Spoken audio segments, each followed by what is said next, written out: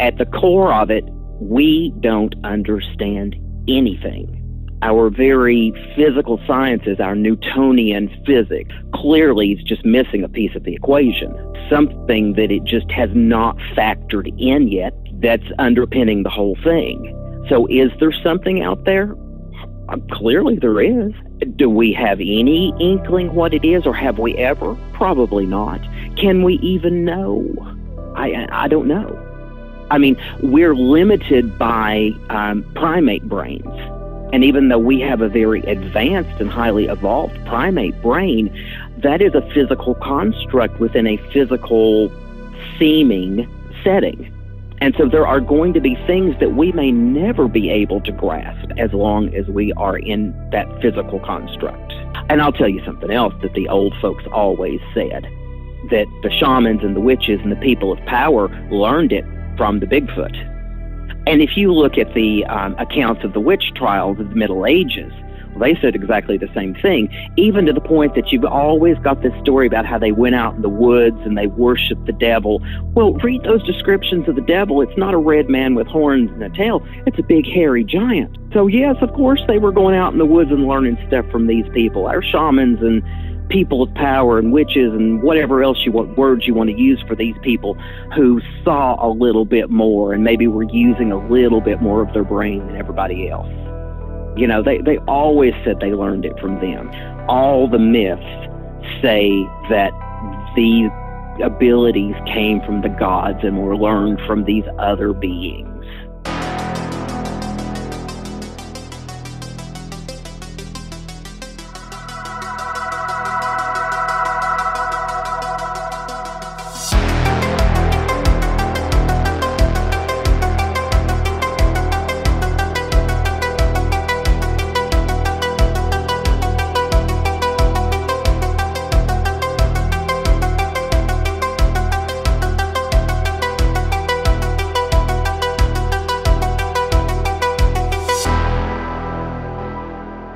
Is Bigfoot Crossroads. I am Matt, and joining me is a gentleman that I've been wanting to talk to for a while. He he reached out to me a long time ago uh, through the website and sent me one of the most intriguing emails I have ever received. And a lot of the reason behind that uh, was specifically most people, uh, as we were just talking about before we started, think in terms of binary thought. Uh, it's either this or that. And I feel like I have lived a life very grounded in logic and science, but then also having this other side to me where I'm experiencing paranormal things growing up and witnessing things that I have no scientific explanation for and it just being part of my life and having to navigate both of those worlds. And now on this podcast, I kind of do the same thing. Uh, I have people who are quote unquote woo. They uh, believe Bigfoot is something supernatural, or they talk about their own uh, paranormal or supernatural experiences. And then I also have very scientific grounded uh, researchers who only deal in terms of what we know and logic and what we can prove. And that can be a difficult place to be sometimes, but I feel like it isn't a case of this or that. I think it can be this and that at the same time. And my guest on this episode, uh, I believe, uh, thinks in those terms as well. I- would like to welcome Steve. Uh, Steve, thanks for joining me. And if you don't mind, uh, you know, if you can, give us a little bit of your background and your story and what led you into this Bigfoot world and sending me that email.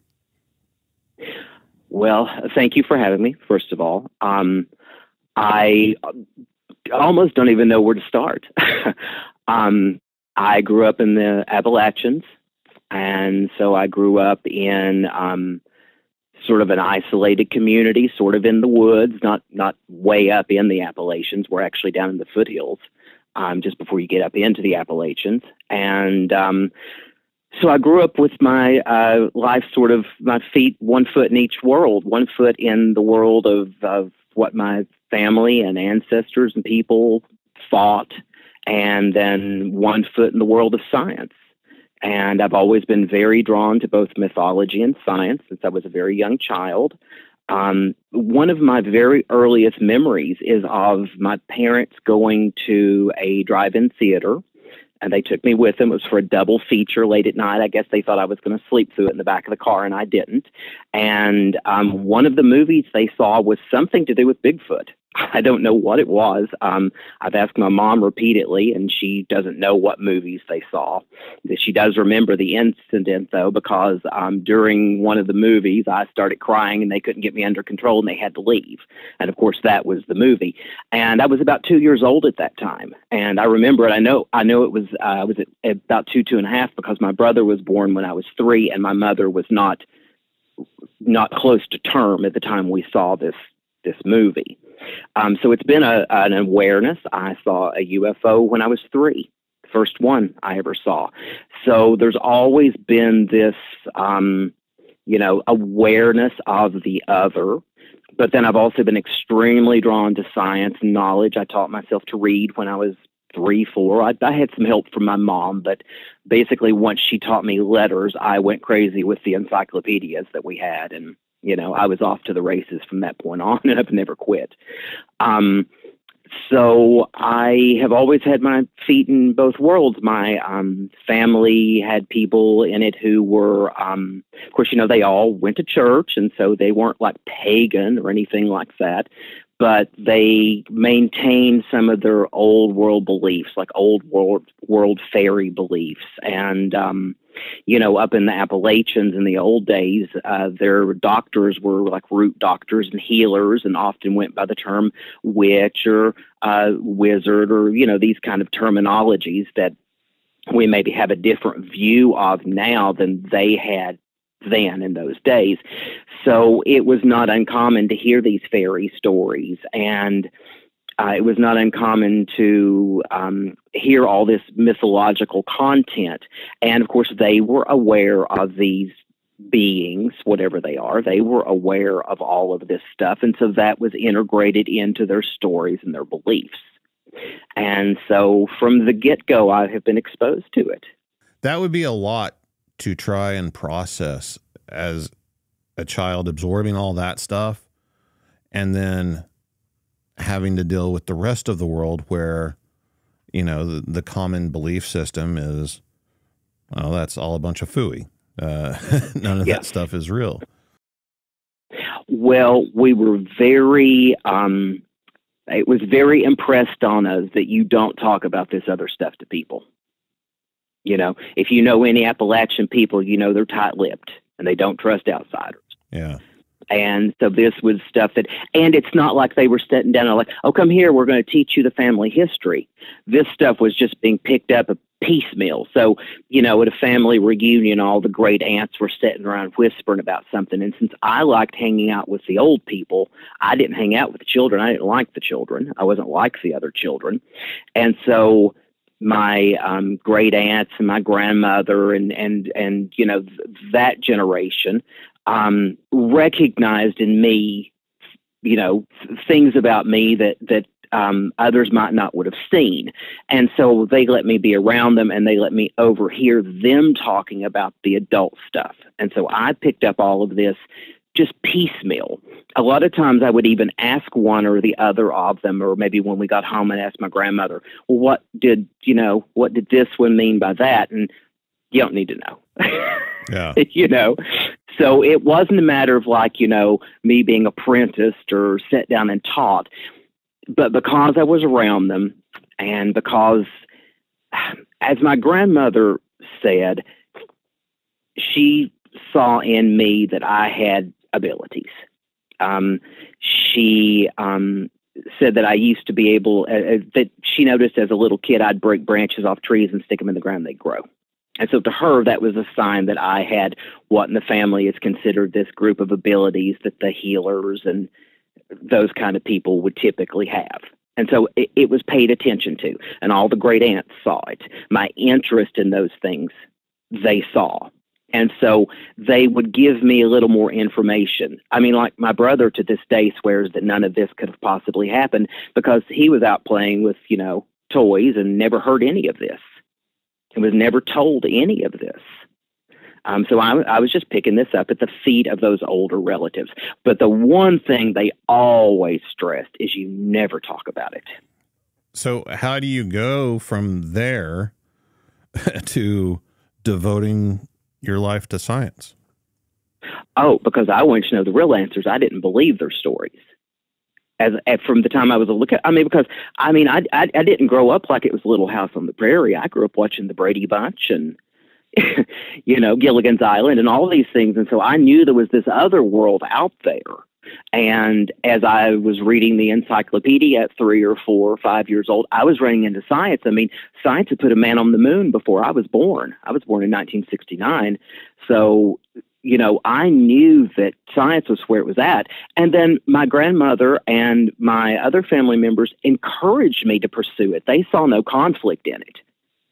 You know, they knew this was where the knowledge for the future was. That's interesting. That's interesting because that that is kind of where uh, my train of thought happens is that I don't see these conflicts that other people see between these two worlds. Yeah, I don't either. I mean, science, you know, is just basically uh, a word that we apply to our ability to understand things based on the constraints of our own abilities of observation and understanding and reasoning. Yeah, that's exactly right. And words are really poor vessels to convey understanding. Words don't convey understanding, words convey meaning, and meaning is variable. So I can say a word and I mean one thing by it. You hear that word, you hear what you think that word means. Right. I mean, and to come down to it, words are just us as animals grunting and, and hissing and moaning and assigning meaning to it. Words don't mean anything. Words are nothing. They don't exist it's our belief in the word that makes the word a thing. You know, I say all the time, words are not things. Words are the shadow of things. So let's take a word that you already said, uh, mm-hmm. UFO. That conveys yeah. uh, an image in people's heads. Mm-hmm. So mm-hmm. tell me about that UFO sighting when you were a small child. Well, um, we were going to town. My mom and my grandma are in the front seat of my mom's little um, uh, Volkswagen Beetle, and my brother and I was about four. My brother was about a year old. Um, are in the back seat, and we're going over the first little hill as you get out of the holler. Um, you go down a hill and then up another hill, and then you come out on the main road. We were going down that hill, and my brother and I are both turned around the back seat, looking out the back window for some unknown reason. And from east to west, a low flying silver disc flies across the road right behind the car, right over it, um, with red, green, and blue lights going around it. And I remember feeling, um, now, of course, as a little child, I was scared of everything. everything freaked me out. People, people, I was terrified of people. More terrified of people than I was of, of the, the odd things. But um, so it, it freaked me out, but I don't remember having terror from it. Just kind of this feeling of that that, that this was something, mm-hmm. you know. And um, it flew from east to west, and you know we went right on to town. I didn't say anything about it. I don't know why I was silent about it. My brother, of course, was too young; he doesn't remember it. Um, but a few days after that, I told my grandmother about it, and she was just like, "Well, you know, they're they're around sometimes, you know. And of course, to her, you know, it's some fairy folk. I don't think anything of it. it's good folk, let alone, you know. Now the interesting thing is where it flew over. Um, I knew from the time I was very young was where I was going to build my house, and I'm sitting in the house right now that I built. That is the exact path it flew over. Wow. Whatever that means, I don't have an answer for that, but but um, but that is a that is a fact. I mean, this is going to be a, a, tough conversation for me. I'm just going to be perfectly honest because there there's so much uh, so much stuff, man. like, yeah, I yeah. mean, uh, the part of the country that you're talking about I mean, so much weird phenomenon that happens there. Oh yeah. And like you're saying, to the people uh, who are, are rooted in the community, this is just part of life. Mm-hmm. These things are just happen there, and they're just accepted, even though they're not necessarily talked about because they don't want to be, you know, made fun of or whatever, and just ridiculed. Right. Exactly. And it's interesting your grandmother's reaction to that. I remember the first conversation. I was raised by my great grandparents, and they were both originally from you know the mountains of Arkansas, and eventually left there and moved to Oklahoma, and that's the you know beginning of the story of my life.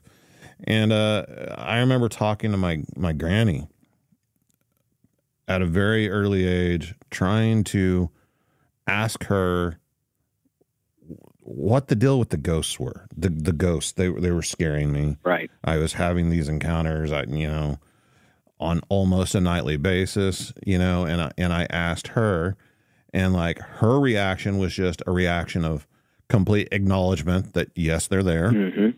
And she, but her faith and her belief system was those are just guardian angels. There's nothing to be afraid Right. of. Right. Right.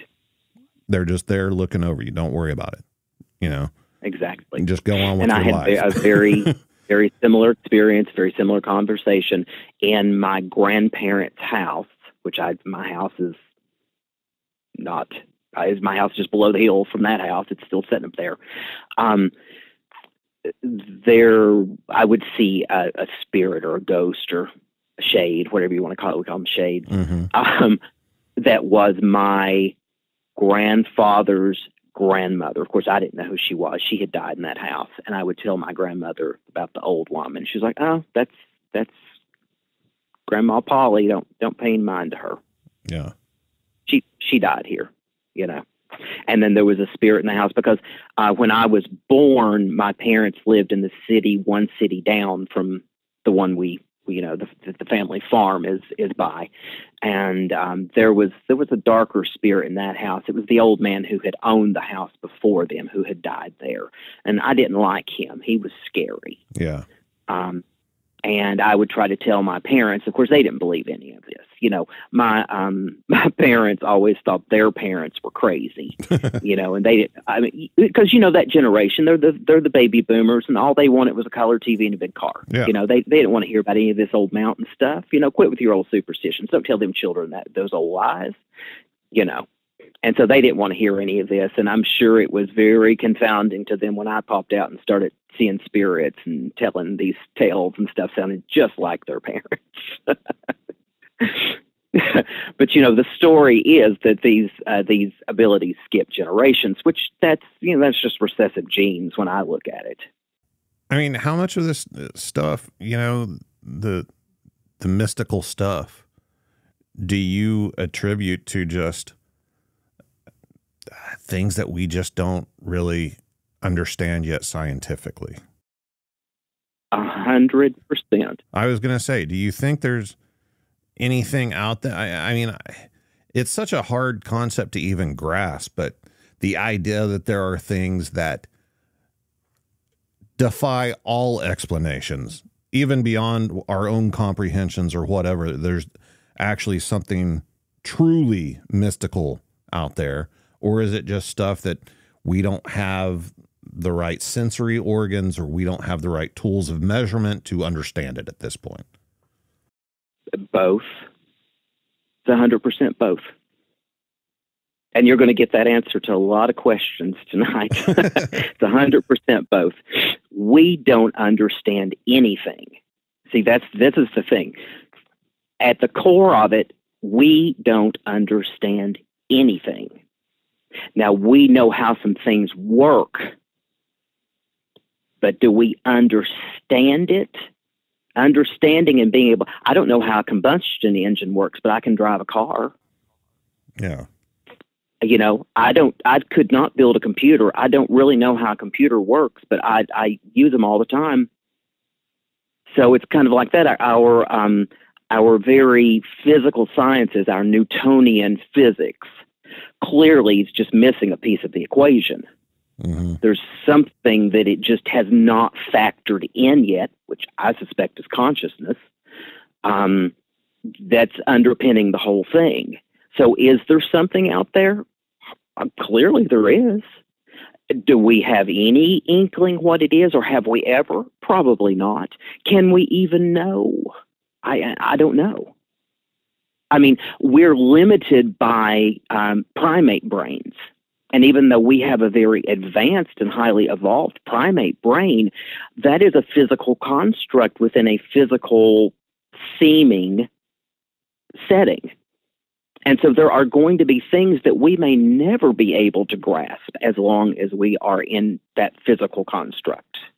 And that's the first place my brain always goes to the things that we're probably never going to understand. Right. And honestly, I, I love that. Um, I love the very Orwellian phrase, certainty through uncertainty. Yeah. The one thing I am certain of is that I am uncertain about it all. Just like the one constant is change. Yeah. That, that will kind of uh, lead right into this one. You have mentioned to me that you have seen uh, orange colored orbs or just orbs in general several times. Yeah. Orbs yeah. is something that has captured my fascination just over the past year uh, and has moved kind of up to the top of the list. I mean, like Bigfoot still has my heart, Ghost still up there, you know, alien stuff, uh, UFO phenomenon, all that. But orbs. Yeah, I think they're central to the whole thing. I mean, these things have been seen forever. Forever. And I would say that they're the origin of all of our religions. Um, and I would even say that they were one of the major triggers for our massive advances in consciousness, in the sense that if you give some, uh, if you give a being mystery, if you give something a mystery to pursue, that's going to strike the sparks that fire off the evolution of, of brain activity.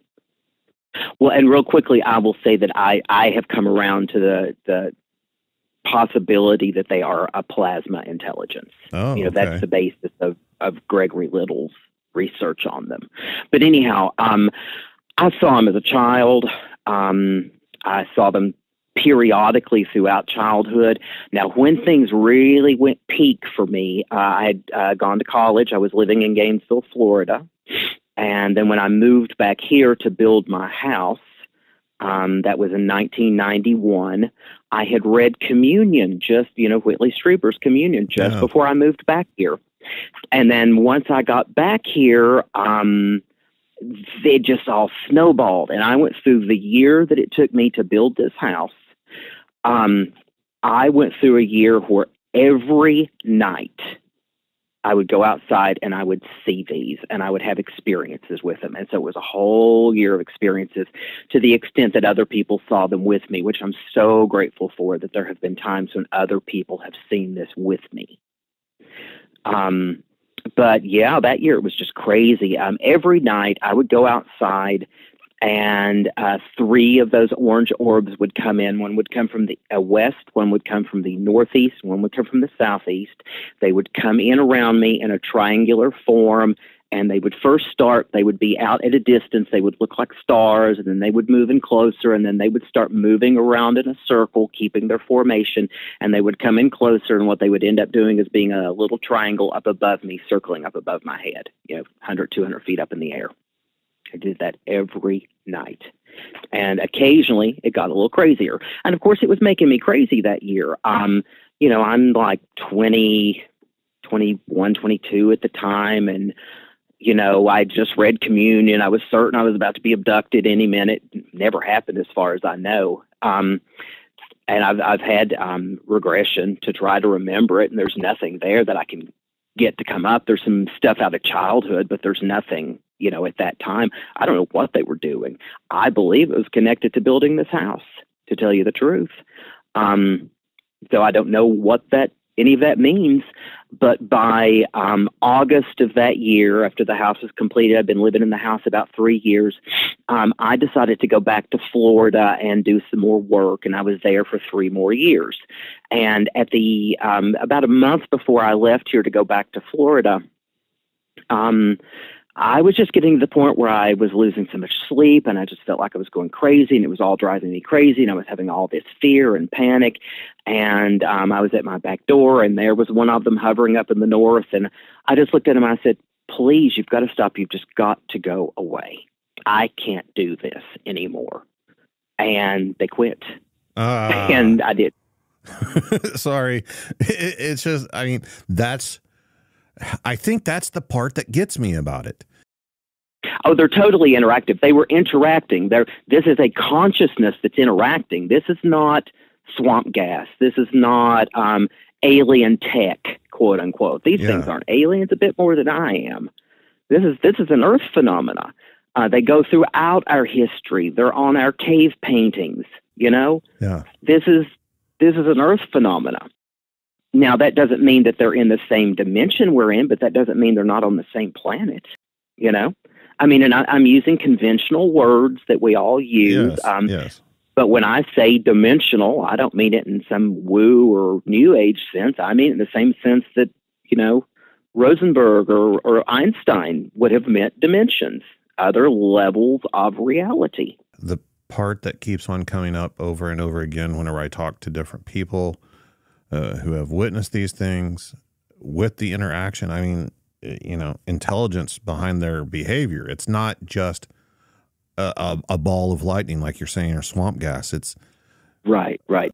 And even when I moved back from Florida after those three years, which was in 94, I have had a few sightings, but very few. They kind of stay away. And almost to the point that I almost regret telling them to go away.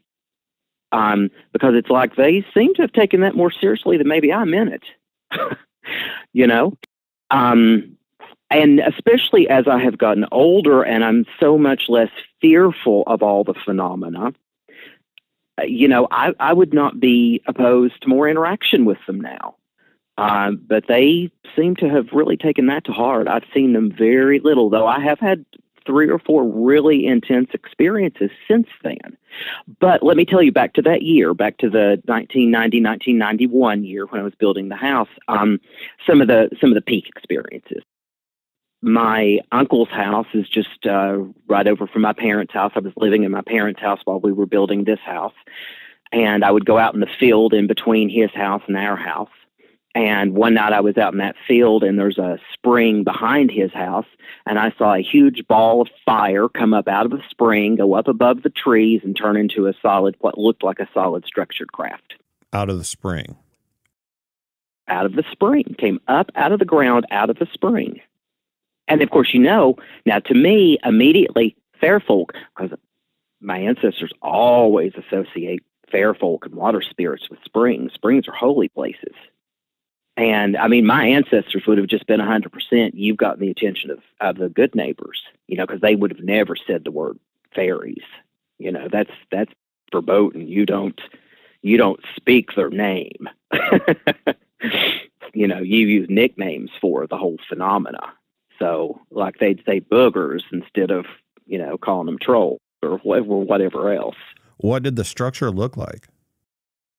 Well, just like a disc shaped craft, you know, just uh, just your classic UFO. Classic, hundred percent classic. I've only seen two kinds of maybe two maybe three kinds of structured craft myself i've seen those discs and i've seen what i call a reconnaissance ship that's like a little like a mushroom cap on its side with like lights and exhaust on the back and and when i've seen them in dreams and been up closer to them in dreams there's a little door there on the back and i know what they look like on the inside you go in and there's two little chairs in there. Now I don't I don't know what any of that is.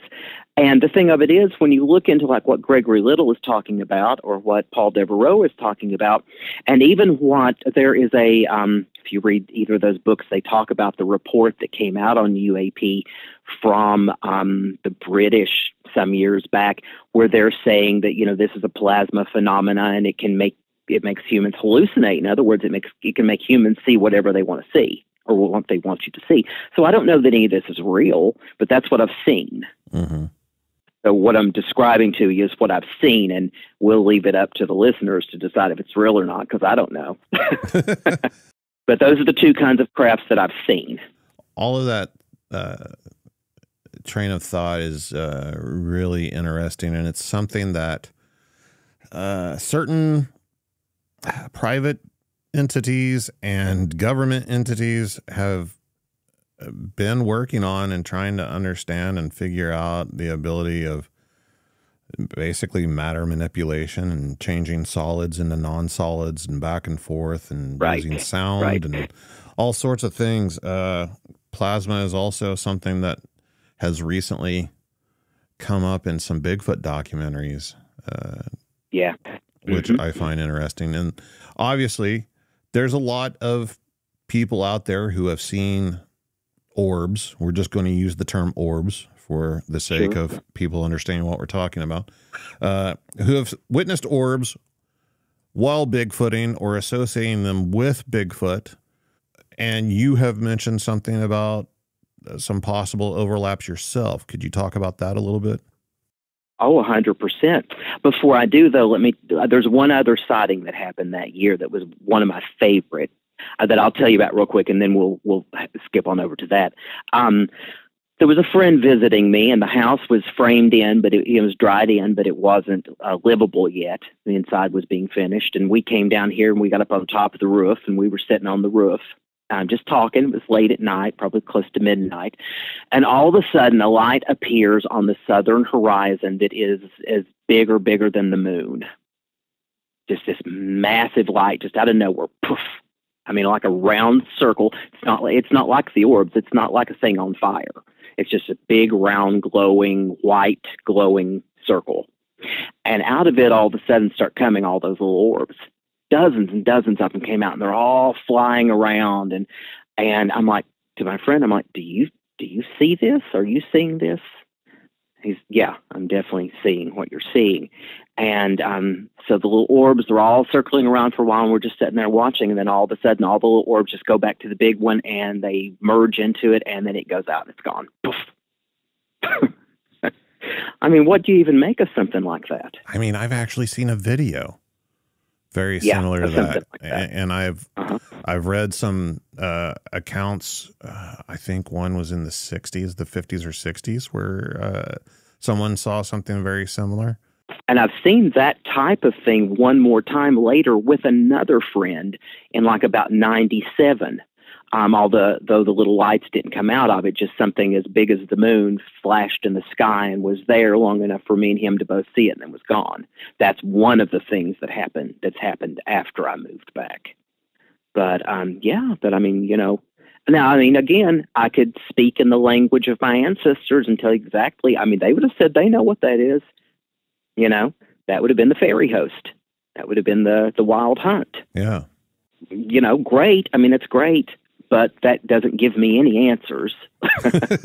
you know, that that gives me a mythological overlay for it, uh, which is fine. I love the mythological overlay. I, I don't resent the mythological overlay. I just don't believe it.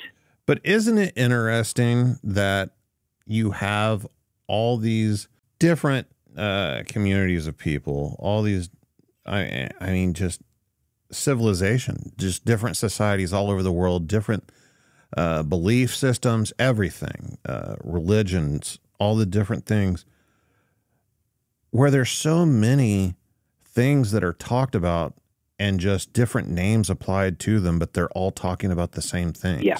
Yeah, exactly.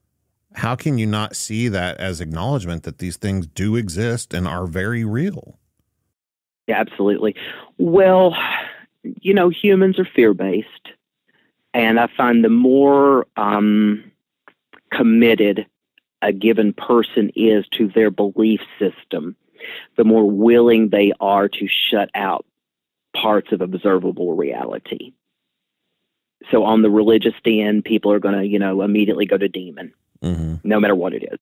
And then on the science end, they're going to go to, oh, that can't be real because it doesn't fit our Newtonian physics. Both of those are fear responses, in my opinion. Mm-hmm. Um, you know, because they they are desperately clinging to their certainty in a given story, and they don't want anything that's going to interfere with that story. You know, they're looking for confirmation biases. They're not looking for mysteries outside of their their ballywick Right. but yeah, these things are everywhere. They're constant. Um, they've always been going on. They're always described. You can go to any culture on earth and you're going to find these stories. And that's like with with my ancestors. They didn't see any of this as evil. They didn't see this good either. It was neutral, but they tended to view everything as neutral until proven otherwise. So there there wasn't any judgment on it. There wasn't any, you know, for for my ancestors, uh, there wasn't any judgment on experiencing or seeing any of this. And maybe you'd go to the fair folk if you had need you know. Uh, and when I say fair folk, I'm not just talking about UFO, alien, UAP, whatever, Bigfoot, Dogman, all of it. That's all fair. That's all the fairy world to to that to that mythological cycle. Right. You know, like what what we call Dogman, they call Puka. That's that's what Dogman is in the fairy lore.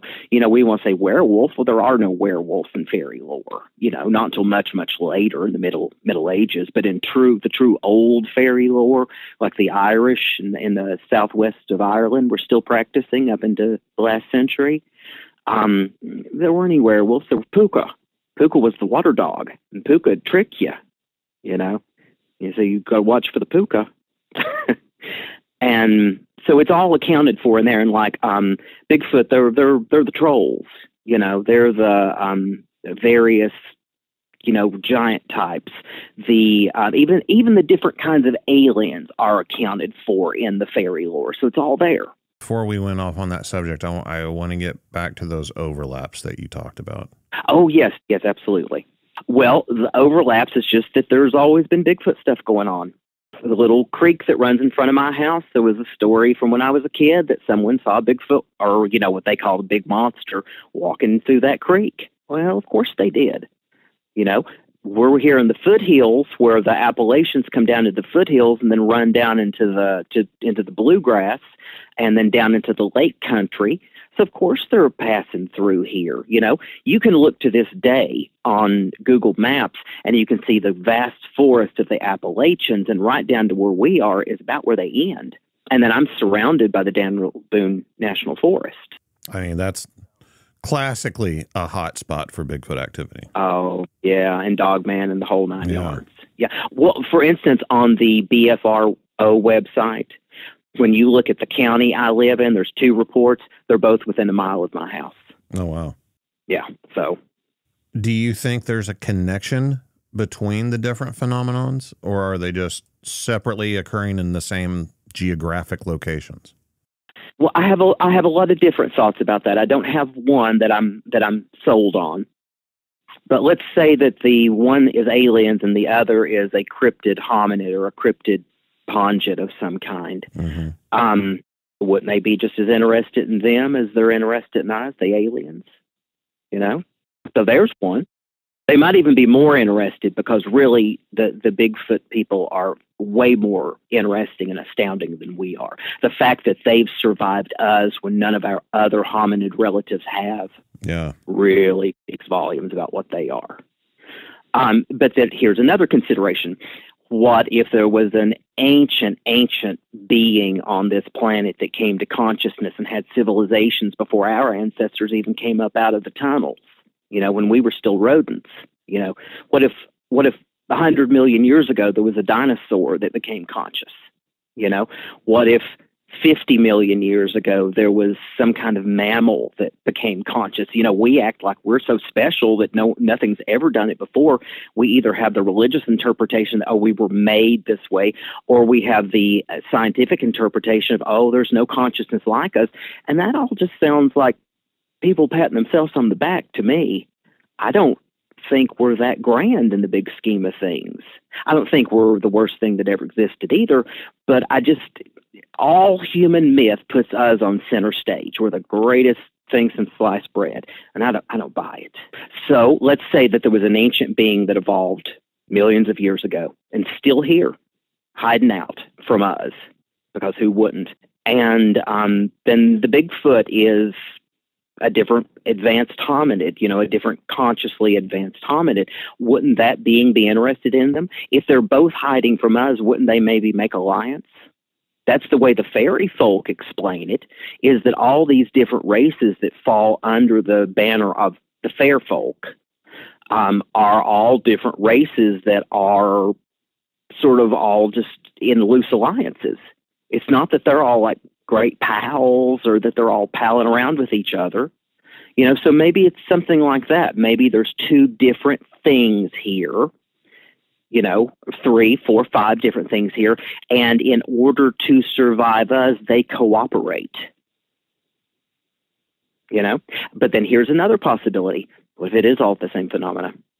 What if it's this plasma, this conscious plasma that's always been here on the planet, it's always been conscious, probably long before us, and takes on whatever form it wants to interact with us however it wants to.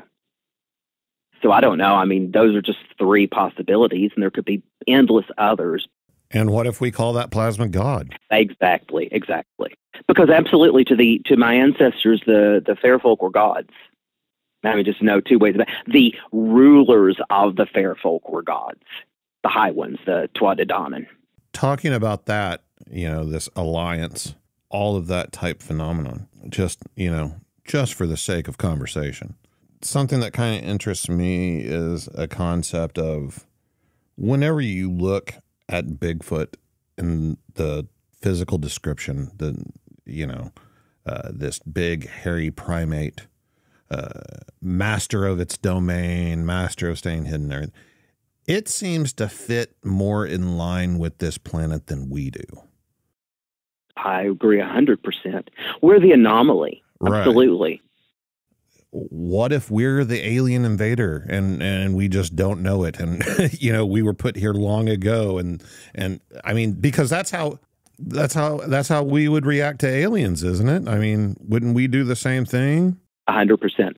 Um, I've I've read Sitchin, von Daniken, and all that sort of thing. I was really obsessed with the AAT when I was younger. Um, I, I don't really believe it now, uh, but certainly I don't discount it out of hand. Um, certainly that could have absolutely happened. Um, some other intelligence could have come here and tinkered with us and made us the way we are. However, when I look at us because of my background in the sciences and the particular sciences I've studied, what I see is a domestic animal. Humans are domestic animals because the biggest feature about us is that we we are neotenic. You know, a neoteny is when a creature um, looks like the juvenile or the infant form right. of its progenitor. So, um, you know, we look like a baby Bigfoot that's reached sexual maturity without physically maturing. I mean, because think about the descriptions. I mean, you know, I've been obsessed with Bigfoot my whole life. So once I got the internet in '94, I was off and running. I've kind of avoided the community because I didn't want to get in all the fights and the squabbles and arguments and all that. But I've, you know, been one of those people lurking on the periphery for, from the beginning. So I've read everything I can get my hands on. Um, so you know, I've read a lot of accounts and, and listened to a lot of accounts, and and whenever I hear a description of baby Bigfoots, I'm like, you know, okay, yep, there's sounds an awful lot like human. So I think we're a domestic animal, and I don't necessarily believe we were domesticated by something else. We we you can domesticate yourself. I think that's kind of what we did. Now that doesn't discount that there. I think there were other things going on in our past. I don't know what that was. I don't have a set theory, but I just can't buy for a split second that all these other branches of our tree existed for hundreds of thousands and millions of years longer than we do did or have. And all they did was sit around and twiddled their thumbs and and hunted i don't buy that for a split second. That doesn't the pattern doesn't fit you know. Um, hominids do stuff. It's what we do you know. And so the notion that all these other hominids did nothing and I'll tell you something else that the old folks always said that the shamans and the witches and the people of power learned it from the Bigfoot. They learned it from the fairy world. Mm-hmm. And if you look at the um, accounts of the witch trials of the Middle Ages, well, they said exactly the same thing, even to the point that you've always got this story about how they went out in the woods and they worshiped the devil. Well, read those descriptions of the devil. It's not a red man with horns and a tail, it's a big, hairy giant. So, yes, of course, they were going out in the woods and learning stuff from these people, our shamans and people of power and witches and whatever else you want words you want to use for these people who saw a little bit more and maybe were using a little bit more of their brain than everybody else. Um, you know, they they always said they learned it from them. You know, and that's that's uh, consistent throughout human history. All the myths say that the abilities came from the gods and were learned from these other beings. I think I've gotten off on a dirt road and always going with that. no, no, no. Um, I was just thinking that's an interesting concept, and it's uh, fascinating to me that as humans, our brains have always operated under the pretense that if you insert the term God, gods, whatever, it's always talking about something coming from somewhere else beyond here. And we don't necessarily know that that's true. Right, right. You know, even the Greek gods up on Mount Olympus, you know, were separated from everyone else. Yeah, sometimes it's up on high mountains that we can't reach. Sometimes it's from below the sea. Right. You know, to the Celts, it was Manannán, you know, the god Manannán, who was the god of the sea and lived under the uh, under the you know the Irish Sea. Um, sometimes you know the Neptune, Poseidon. Uh, so so it's these different places that we can't access. You know, but look at the fact that the Tibetans carry a gene from the Denisovans that allows them to live in high altitudes that other humans don't carry. And and that's all in the grand scheme of things. That understanding and revelation is fairly new. Yeah, yeah, absolutely. Oh, there are a lot of things that I have thought for a long time that the last 10 years have seen borne out. And I'm talking about in, in our human evolutionary history. I've said for years that humans were hybrids, that we were clearly hybrids. Um, and, you know, I would get laughed out of the room if I brought that up 20 or 30 years ago. And since time, I'm, I'm the one laughing now it'll turn out there were at least six variations of, of hominid in our ancestry. We know four or five at the moment. So let's kind of shift gears into that area. Sure. After we've talked about all this crazy woo stuff, uh, mm-hmm. you are a scientist. Yeah. With a background in science. I mean, we won't get into specific details, uh, but you know, I the hybridization stuff. Uh, fascinates yeah. me. And yeah, absolutely. You know, you had sent me uh, some of your manuscript, and like I said, I looked over it. it. It's a lot. It's a lot. One of the things that kind of stands out whenever it comes to hybrids is a lot of people believe that hybrids that's the end of it. You can't reproduce, you know. Right. But that's not necessarily true. Generally speaking, it's not true at all even to the extent that they, uh, the Spanish had breeding lines of mules. now, everyone thinks that mule, you know, a mule is the ultimate sterile hybrid, can never produce an offspring. Small percentage of them can. And in Spain, they had found, uh, you know, someone by chance had run across um, you know, a, a, fertile example of a male and a female and had started breeding them. And They had breeding lines of mules that were bred specifically as riding animals for nobility. Huh. So even the classic example isn't true. I'm just going to throw it out there because it's the most popular question on all Bigfoot podcasts. What is Bigfoot? Do you think Bigfoot could be a type of hybrid? Yes, I would. It, absolutely, we're hybrids. Um, I think all hominids have always been hybrids. And let me step back just one second away from the specific and give you something a little more general. Okay. Here's what hybridization is hybridization is Mother Nature's way of helping to avoid extinction. And what that means is that hybrids almost always occur in times of stress and extremis. They occur in times of geological upheaval and climatic change. That is the most common time when hybrids occur. Now, there are ranges of overlap of different species, or even sometimes genus, where they will have hybridization ranges. But in general, it usually happens in collapsing ecosystems or in times of, of change. And so it is an escape valve from extinction. What that means, what I mean by that, is that um, as long as a male of this snake and a female of that snake find each other, if they're the only ones left, they can mate and produce offspring. And so there will be snakes. There won't be the male species and there won't be the female species anymore. There'll be a new thing, but they will still be snakes. And so that's kind of what hybridization allows.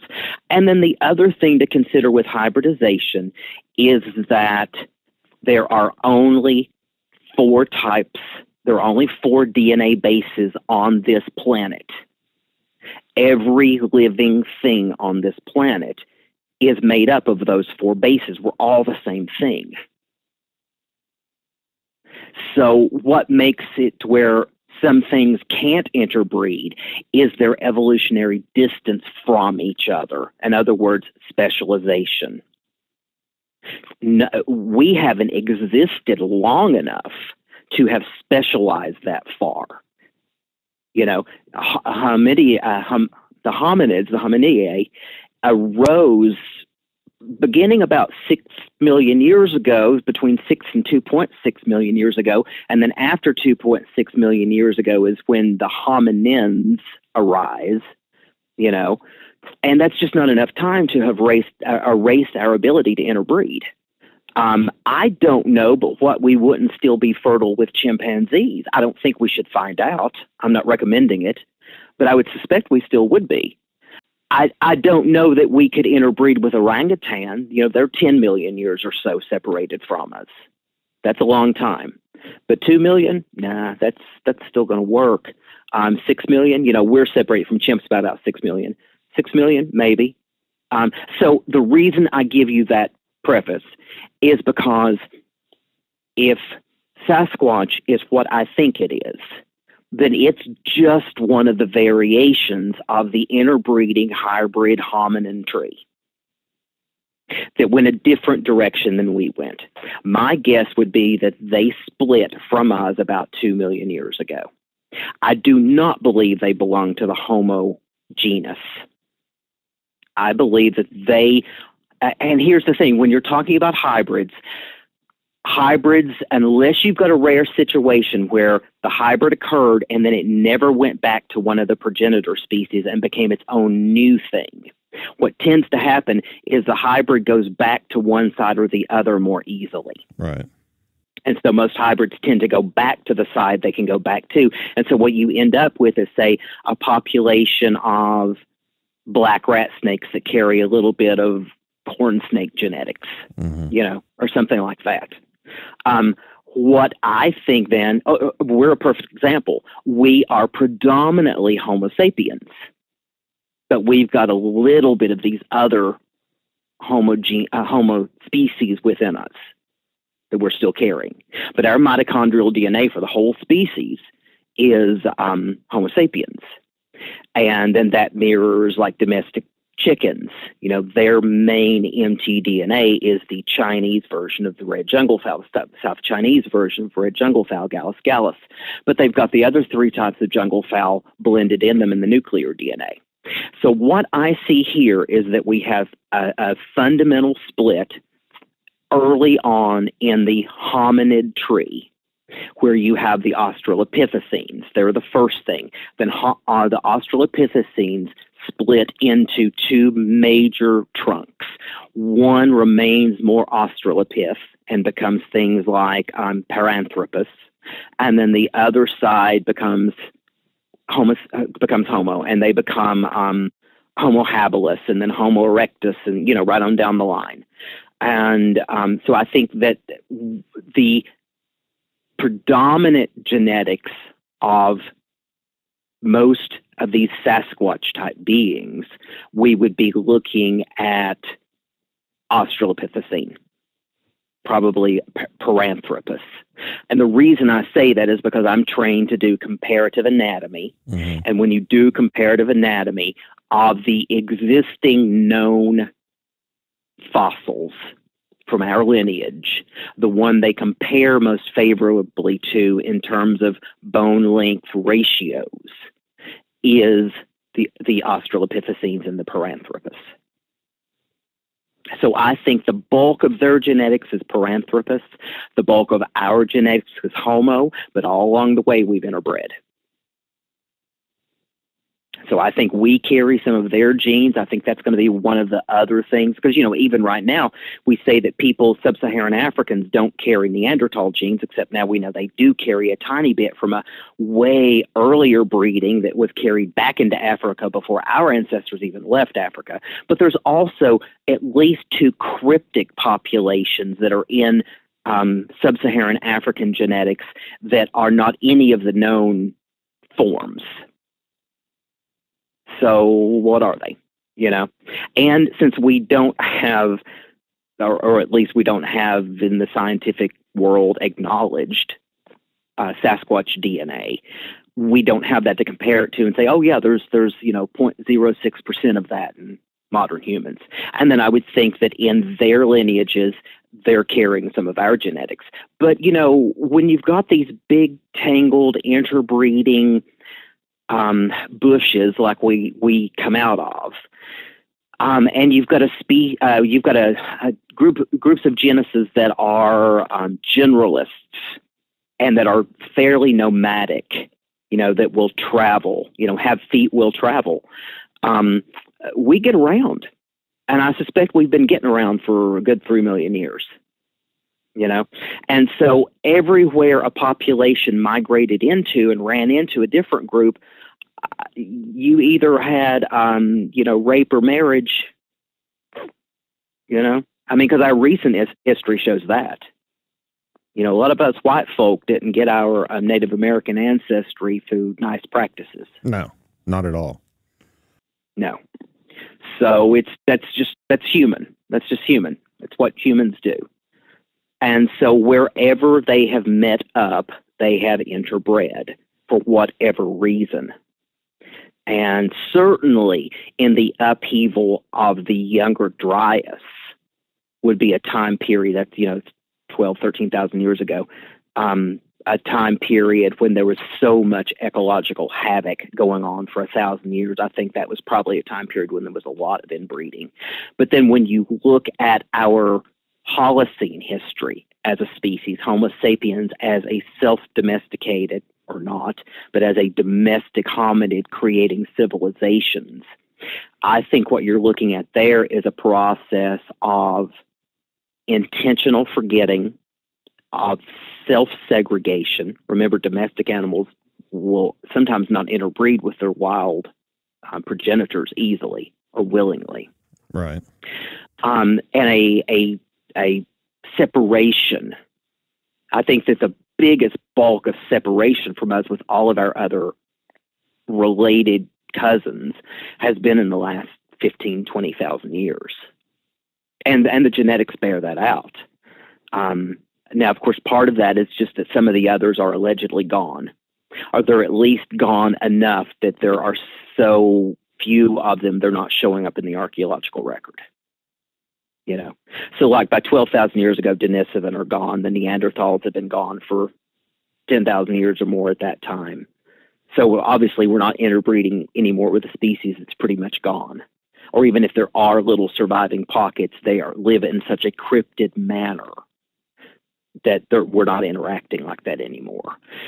But I think that when we started civilizing and creating and, and moving from tribe to urban settings is when we really start to not only segregate ourselves physically but mentally from our past and mentally and physically from everything that's going on around us. We become extremely insular because then we have something to protect other than hunting grounds. We have fields and homes and cities and you know we have this infrastructure that that kind of excludes us. But that doesn't mean everyone was doing it because, you know, even now, not all humans live in urban settings.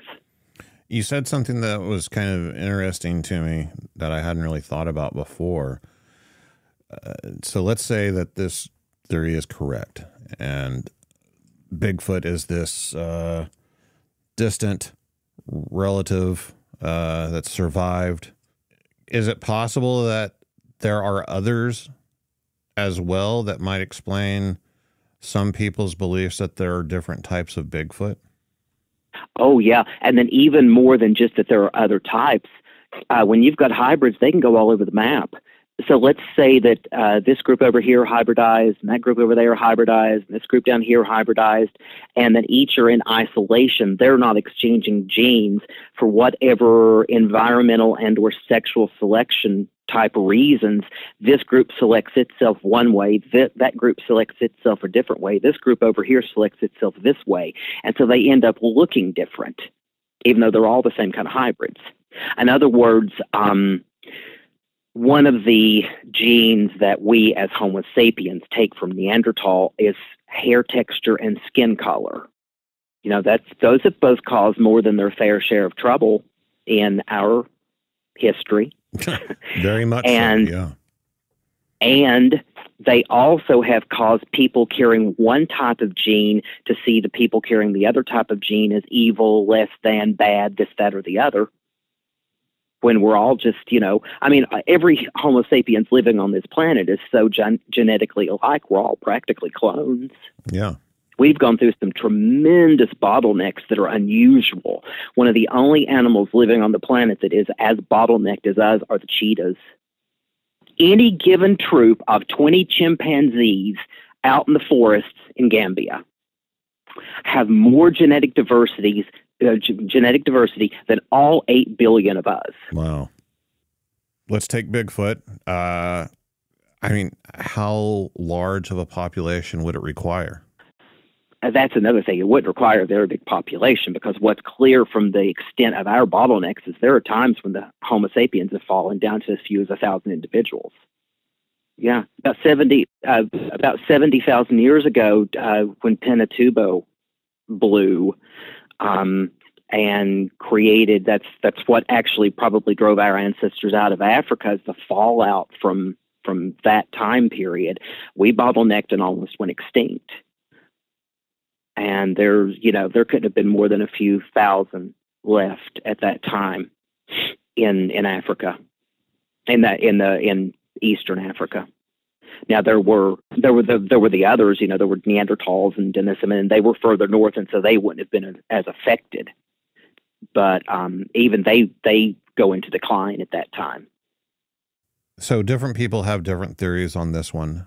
My own personal belief is that the idea of Bigfoot uh, migrating around North America is just not a logical one. It doesn't make sense to me. I think they may have um, seasonal territories, but I, but that's not migration. Right, right. I, I do. I agree with I, you. I don't think they migrate. I definitely agree with that, especially in. Uh, I mean, obviously, the Pacific Northwest. Uh, mm-hmm. The idea of them going up and down in elevation throughout, you know, different times of the year and everything, right. for sure. Right. That's what they do here. Yeah.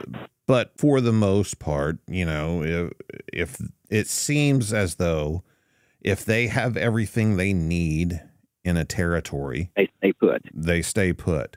So I would think interbreeding would occur mm-hmm. within those groups. So is that that's right something that can happen and sustain a population? Mm-hmm, absolutely.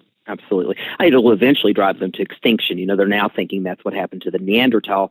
They tended to stay in small family groups that interbred deeply, and the fewer there were of them, the more they inbred, and that may have been part of their what brought them to extinction. It'll eventually cause so many deleterious genes to surface in the population. I mean, and I'm from Appalachia, so you know I've seen it. I've close personal. Um, you know, you inbreed enough, you get problems. Right. However, uh, you know, we hear about the kind of things. We hear about the ones that look Down syndrome. We hear about the ones that look, um, you know, they have, only have three toes. We hear about all these weird things that go on. You know, um, my dad's you know, it's awful to say. My people are Appalachian. There's a there's a quantity of inbreeding there.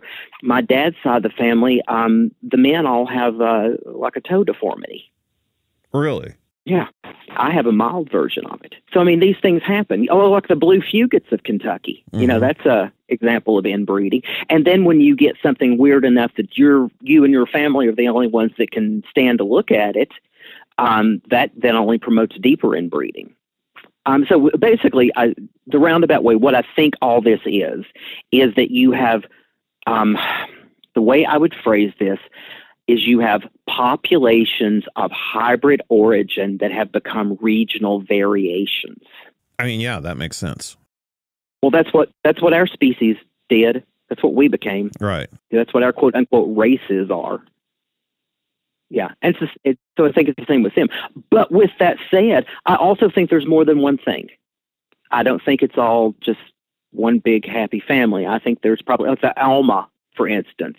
Mm-hmm. Uh, the Almas, I think they are probably closer to Erectus or Neanderthal. Something different than the North American Bigfoot, the Pacific Northwest Sasquatch. I, I think the Almas is, yeah, yeah. And then when you look at things like the, uh, uh, is it called Ebu Gogo?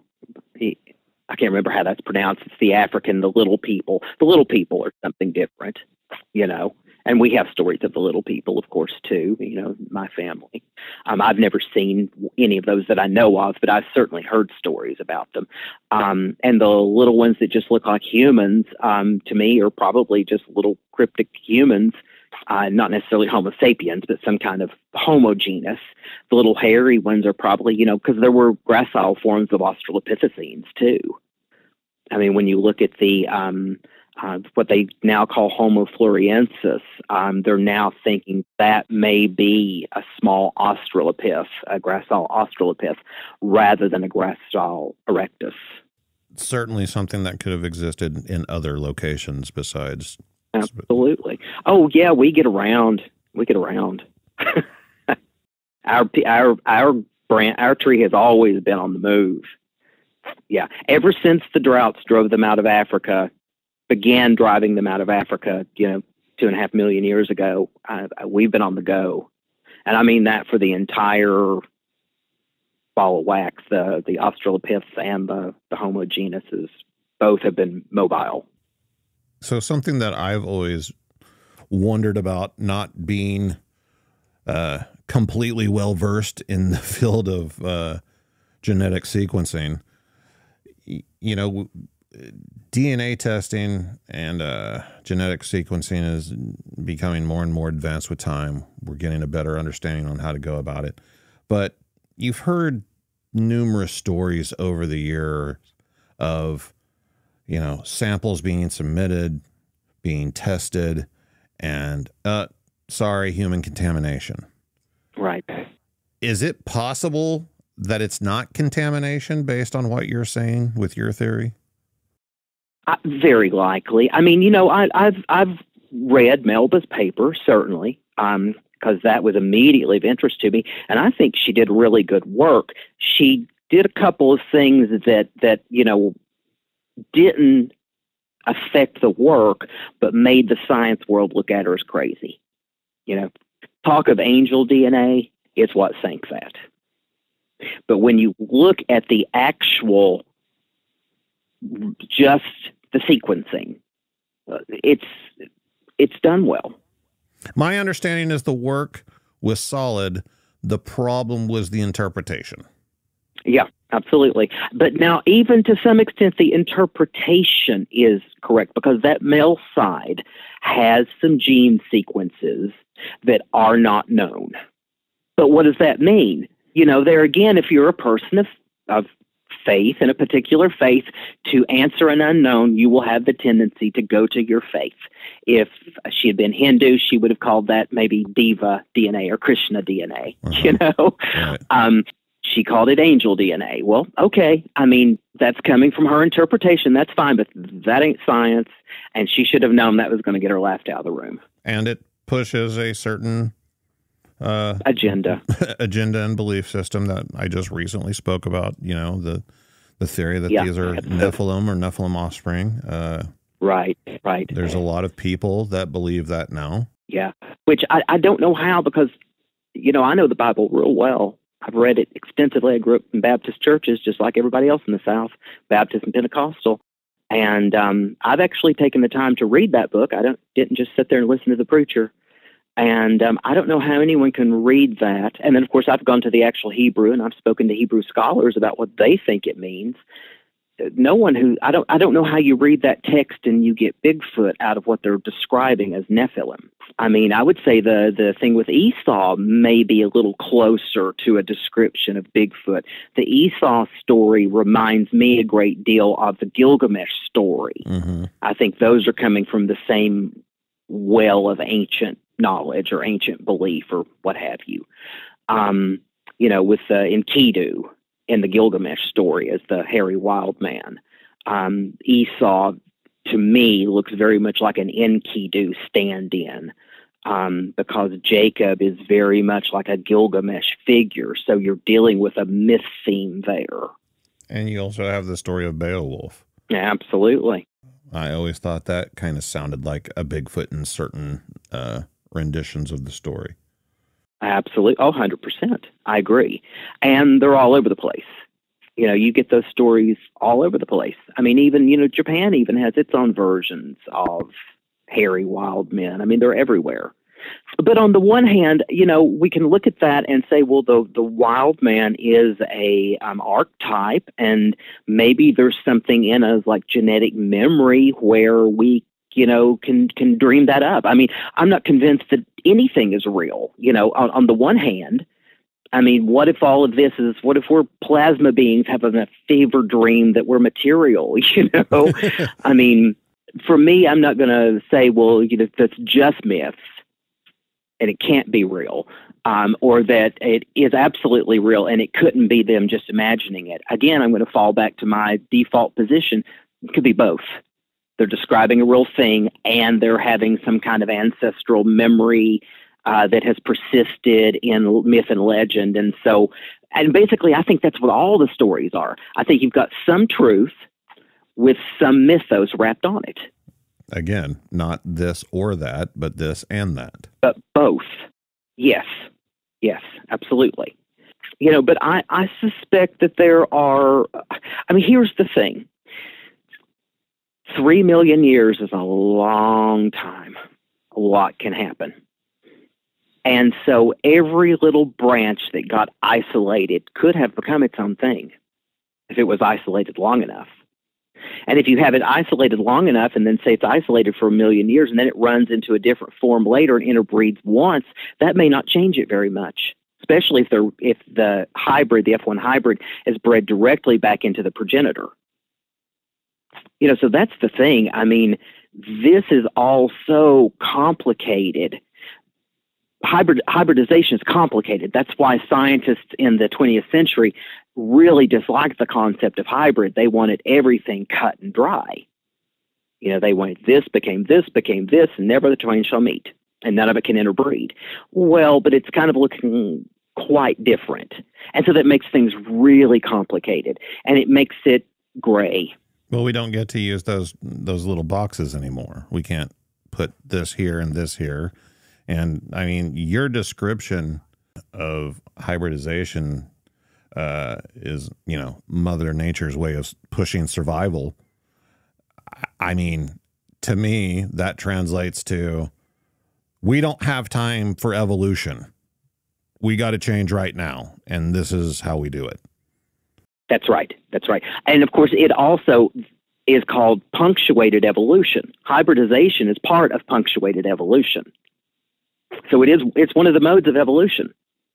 And then you mix in the evolution that takes place in environmental Slowly. adaptive uh-huh. uh, situations. Mm-hmm. You know, you take situations yeah. like uh, Australia and the Galapagos Islands, where you know the right. two most famous places for adaptive evolution uh, but that can also exist in a hidden pocket on a mountain in the Pacific Northwest.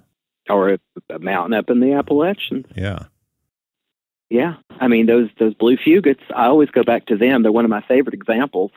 You know, if someone came up to you and said, There's blue people up that mountain Ain't no way. Oh, oh, yeah, right. I ain't no such thing as that. Yeah yeah, you would not believe that the blue fugates existed if you didn't see them. I mean, if someone had written in a diary in 1490 about blue people, that would be dismissed resoundingly by everyone, but yet they exist. So that's the thing. Things can get weird. Uh, th- that's just the thing with reality, with evolution, with there's nothing cut and dry. The whole thing's real, real super plastic. And what I mean by plasticity in the term of genetics is that things can change on a dime if they need to. And the new genetic knowledge that we're gaining from epigenetics throws that even further off the deep end because epigenetics is basically an almost immediate response to the environment. And it's not even changing the DNA, that's changing the RNA that modifies the DNA when it translates it into proteins. So that's a different mode of evolution. Just like a reaction to something, basically? Yes, which tells me that it's all conscious. It's the reason I always go back to consciousness. And I hate to say that because it sounds so woo and it sounds so new age, but it's what Einstein thought. It's what Bohm thought. It's what, you know, all the great physicists of the early 20th century thought that consciousness was the base of the whole thing. And it appears to me, now, of course, my strict materialist friends get really distraught when I say this because they're like, DNA is not conscious, RNA is not conscious. I think it is. I think that it is, RNA has one goal, and that is to survive. Remember, RNA appears before DNA. RNA is the first life form on the planet. In my opinion, it's still the only life form on the planet. RNA is driving the whole ship, the captain. And so it's the RNAs that translate the DNA and turn it into proteins. And what I mean by translate it is they modify it, they make it work the way it works. So, like if I have a gene that removes melanin from my skin, you know, that same gene might do something different in a different genetic background where the RNAs are translating it differently. Huh. Yeah, so just when you think that you've got genetics figured out, hello, epigenetics. Yeah. And so that's a whole other ball of wax, you know. And I observed this for years in my research, and I kept telling some of my colleagues, um, there's something going on here non Mendelian. Oh, there can't be. It's all Mendelian. I kept saying, there is something going on here. I mean, because the kind of research I was doing, I was working in, in um, immunogenetics was my main area of, of work, which is the study of genetic resistance to disease. And so I kept seeing instances because uh, I was working with huge numbers to get the kind of data that I needed. I was working with huge numbers of individuals. And over that, with working with huge numbers, when you would go in and you would look at all the data, you would always have some things that fell outside of Mendelian norms. You could not put that in either a uh, unigenic or um, polygenic framework.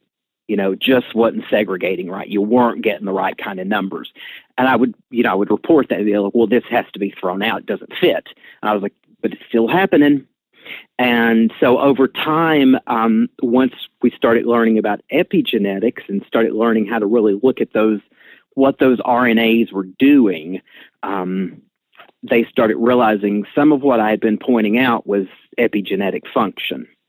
And there is a big industry that, um, an agricultural industry that used to spend millions of dollars a year billions of dollars probably on antibiotics that no longer has to do that, and that's because of some of the research that I was part of. Wow. Yeah, so it's just super, super complicated. And when when I look at all of this, and you know, I'm armed with my background in science, with my cultural background in myth and legend and woo and all of that. And then you combine on it my ability to recognize patterns. I see a pattern in these cryptid hominids. And that pattern is that it's the same pattern I see everywhere else, which is a hybrid population just like we are. It's just that we went into, we exploited one environment, they exploit a different one, and that explains the differences between us. You know, we self domesticated, they remained wild. Yeah. It's that simple.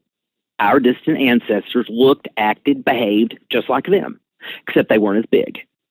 And then w- to, to explain their gigantism, um, I'm not, you know, clearly the Australopithecines, clearly the um, Paranthropus were not as big as Bigfoot. They didn't get that big. But what I think happened is when Paranthropus came up out of Africa and got into Europe and Asia and were up there in the ice ages dealing with ice age megafauna, just like everything else, they became a megafauna because they remained wild. Our ancestors didn't become megafauna because they didn't remain wild. Is it possible that ice age ends and now environments change, their environments get smaller? Is it possible that they evolved into something smaller than what they used to be? Or are in the process of doing that now? I don't know. It's it, it's always a possibility. But then, if those genes for gigantism are so locked into them, there may not be any room for that to change. You know, that's the that's the thing. I mean, species go extinct when they can't respond to change. Right. You know, like the well, a good in, uh, example of megafauna is that the mammoths in the far north were bigger than their ancestors in Africa. Mm-hmm at the time of the ice ages because the ice ages didn't affect Africa. You know, there was there was Africa was not glaciated. Africa got drier in ice ages. That's what happens in in the southern regions during an ice age. The north glaciates, the south gets dry. And interglacials, the north deglaciates and the south gets wet. You know, and so those are driving forces. I don't know. I mean, the thing of it is, environment is always causing the potential for change. And the, the Sasquatch has to be under some kind of environmental pressures now that they weren't under 100, 200, 500, 1,000 years ago. But then again, even without realizing it, so are we. Right. I mean, yeah, but we're changing. Absolutely if they have the genetic diversity to change, then they, they there will be changes going on. But that's not really something I've thought about, and so I can't speak too well to it. I can only speak in the most general of terms about that. I would say that they are a um, they are an ice age megafaunal hominid with predominant descent from Paranthropus type Australopithecines but then that doesn't exclude them carrying some of everything else. Because one thing that you see over and over and over in the literature is the ability of them to breed and produce offspring with us. And I don't discount those stories. There's too many of them. And it makes sense. It's exactly what, you know, I mean, because you think about the fact that we as Homo sapiens do not carry Neanderthal mtDNA. Well, there's a whole lot of implications to that. That means if the original hybrids happened from a sapiens father and a Neanderthal mother, that the daughters were sterile and couldn't pass her mtDNA. But more than likely, what it means is that male Neanderthals took female sapiens in the days of old and created hybrids that would not have carried Neanderthal mtDNA. Well, had that happen? Was that peaceful? Was that, you know, bride exchange? Could have been. I mean, a group of a troop of sapiens could have come into a Neanderthal area and they could have met peacefully and exchanged women, knowledge, tools, whatever. But just as likely, the first sapiens came up out of Africa and a group of Neanderthals uh, killed them and kept some of the women or snuck into the camp and kidnapped some of the women. Does that sound familiar?